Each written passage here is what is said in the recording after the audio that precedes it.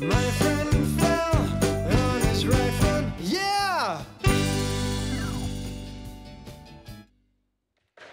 tenim amb nosaltres en David Martínez. Bona nit, David. Nit. En David és consultor, assessor en planificació estratègica. T'has dedicat, David, a aquelles empreses familiars grans, a fer aquell, a aquell relleu generacional. També t'has dedicat a, a, a, a, bueno, a les cooperatives, a treballar en cooperatives i sempre tenint en compte, i de fet ara més que mai, eh, de trobar aquells models empresarials que tinguin en compte el desenvolupament sostenible. És així, David? Sí, sí, és així. He treballat també en el món de les energies renovables, del medi ambient. Per tant, la sostenibilitat també forma part de, del teu currículum. Sí. Molt bé, David, per què es parla de, de pacificar les organitzacions, que és un altre tema que també has treballat? Sí. Com tu bé deies, parlaves de la necessitat de buscar noves formes de competitivitat, com millorar la competitivitat de les empreses. S'ha treballat moltíssim en aquest àmbit i, i, un dels, i, i no es pot aconseguir només la competitivitat millorant els processos, sinó sobretot treballant sobre les persones. No? I al final el concepte aquest de pacificar les organitzacions és com aconseguir organitzacions pues, que siguin organitzacions, entre comilles, com deu vosaltres, eh, més felices, no? en què la gent disfruti treballant i, i sigui més feliç. No? Llavors, eh, hi ha dos elements que configuren el món actual, que és eh, la incertesa i la complexitat. No? Uh -huh. I, I això és aquest nou paradigma. No? A partir de la crisi, aquests dos elements s'han instaurat. No? Llavors, la gent treballant en aquest entorn d'incertesa i complexitat li genera angoixa, li genera por, genera negativitat en les organitzacions i l'objectiu de la pacificació és intentar transformar eh, a, a totes aquestes sensacions. negatius no? en, en positius. aconseguir una organització que perdi totes aquestes, o desapareguin aquestes pors no? i, I aquests elements. I com s'aconsegueix? Com es fa això de pacificar sí. una organització? Home, hi ha dos, Dos, és, és com buscar un antídot en aquests dos elements, no? Mm, respecte de la incertesa, que és el que pots treballar en les persones, no? Pues la seva capacitat d'adaptació. Quan una cosa és incerta, si t'ajuden a adaptar-te, pues pots millorar-ho, no? I per millorar la teva capacitat d'adaptació pues, has de desenvolupar coses com el pensament creatiu o el pensament lateral, que no és el més convencional, sí. eh, una visió més estratègica de les coses, saber tenir capacitat per reflexionar, i una cosa molt important per, per treballar la incertesa, que és un estat d'alerta vital sobre les coses, no? el que se li diu el mindfulness. És, és una, una capacitat per encuriosir-te al teu voltant. Si tu ets capaç d'aconseguir persones i organitzacions que treballin això, la, la incertesa la pots treballar. No? I la complexitat, com s'ataca? Pues amb una forma de treballar més intel·ligent, que li diríem, no? fent un ús més intensiu de la tecnologia eh, i desenvolupant molt més les relacions eh, les habilitats relacionals, etc. No? O sigui, I... coses que fan que siguis més, més intel·ligent al teu treball. No? I tot això es pot fer en qualsevol tipus d'empresa, perquè parlem de tecnologia, creativitat, tots aquests ingredients es poden aplicar a qualsevol mena d'empresa? Sí, precisament parlem de pacificar les organitzacions, no? I per tant parlaríem de tot, no? Des d'una ONG, una institució pública, una empresa i qualsevol format d'empresa, una SL, una cooperativa. No? O sigui, en principi, tot això ho podem aplicar a qualsevol tipus. La important en aquest cas és que la pacificació requereix d'una transformació cultural. No? Com deia, els paradigmes actuals ja no és, no és suficient en canviar coses, sinó que a més hem de canviar les persones. Per tant, la transformació cultural de les organitzacions és un dels punts claus. Eh? I, I això és degut a que el paradigma ja no és el mateix de fa sis anys i, per tant, en aquests moments els canvis són molt importants. Per tant, s'ha de gestionar aquest canvi en les persones. No? I els hem d'aplicar. Parlem d'estratègia. De, Quin és el gran error estratègic de les empreses, David? Mm. Sí, hi ha... Uh, a veure, hi ha, hi ha, jo crec que el gran error precisament ha sigut aquest, considerar que les coses, la, les estratègies les podem implantar, o sigui, ha hagut, hi ha hagut un gran canvi, llavors hem definit noves estratègies, i que les estratègies les podem implantar només canviant els processos o, no? o marcant uns objectius. I això no és així en aquests moments. Per aconseguir els objectius i per canviar els processos has d'ajudar eh, que les persones canvin, canvin i s'adaptin no? en aquests dos elements. Que... Llavors, si no som capaços de fer això, les estratègies no canvien. I molts errors que s'estan produint en aquests moments en les estratègies en pensar que fent allò les coses canviaran i si no canviem les persones, les coses no canvien. Per tant, la clau està en canviar primer els ingredients de base, les persones, i després tot tendirà a anar millor.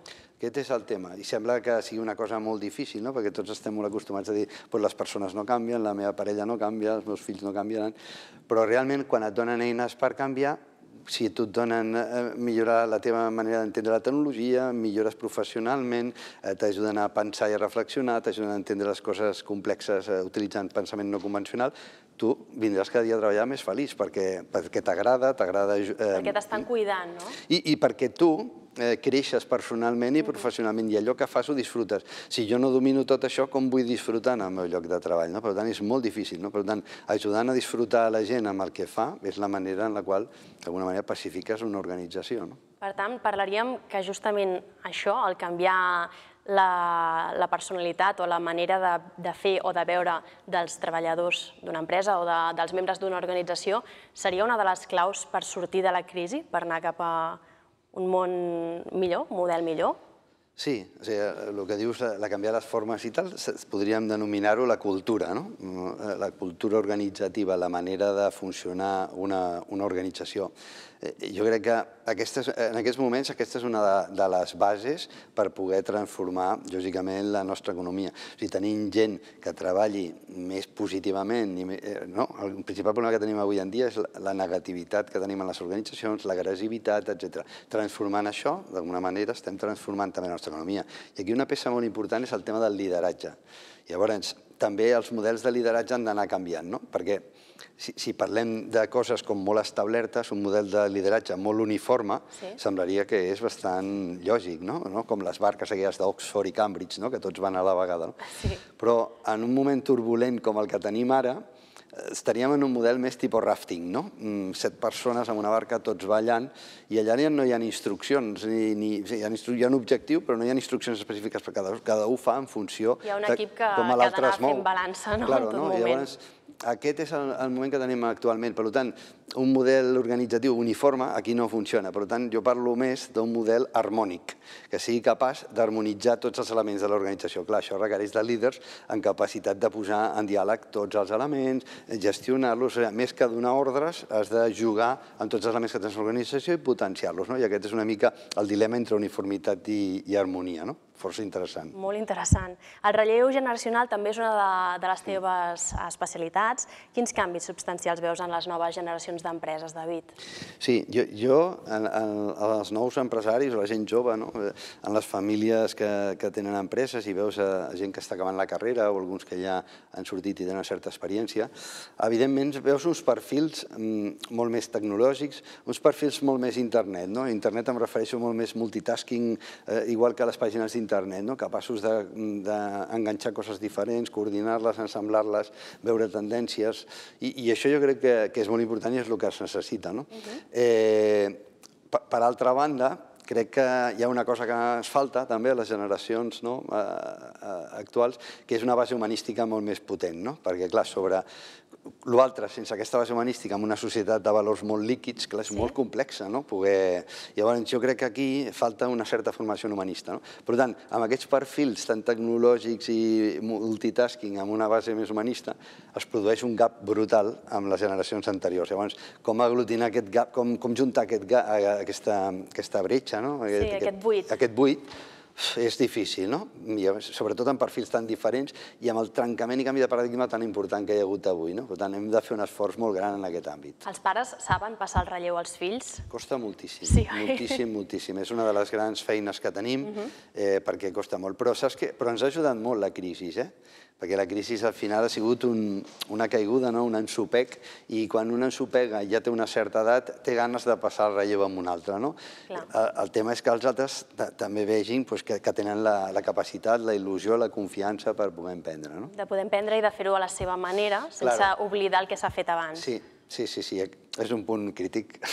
L'economia social i el cooperativisme, cooperativisme també són especialitats d'en de, sí. David. Uh, són maneres de futur, també?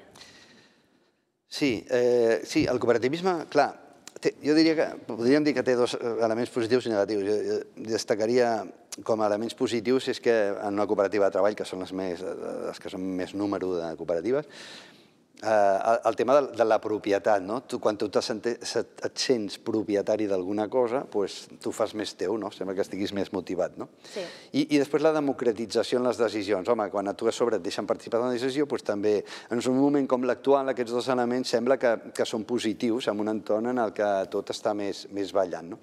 Per altra banda, la cooperativa té un aspecte dos aspectes negatius també que podríem destacar.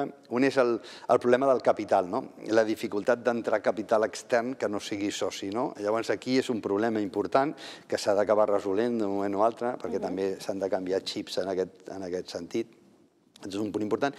I el segon punt negatiu important que es produeix a vegades en les cooperatives és la, la, la discrepància o la confusió entre les funcions de ser treballador i ser soci. No, no estan clares en segons quins moments. Quan estàs actuant de soci, actues com a treballador en una assemblea i quan estàs de treballador no vols acatar aquelles decisions i vols actuar com a soci. I I aquí es produeix... es fan un, embolics. aquests serien els punts negatius, no? Molt però els positius són molt més grans. David, eh, per acabar, que ens queden uns segons, eh, quin és el, el factor F o els ingredients en factor F d'en David Martínez? Bueno, jo diria, jo destacaria tres elements. El primer és la felicitat. Jo crec que si una persona no és feliç fent el que fa és, és tremendo i per mi dintre de felicitat hi ha un punt troncal que és el, el sentit de l'humor. No? El segon és el futur, és una, m'apassiona el futur, les tendències, la, la visió, i el tercer és el foment de la- l'emprenedoria, la creativitat, les ganes de fer, d'encuriosir-te, no? Els Molt tres bé, elements. doncs felicitat, futur i foment, els tres ingredients en factor F d'en David Martínez. Moltíssimes gràcies, fins ben aviat. Molt bé, moltes gràcies a vosaltres.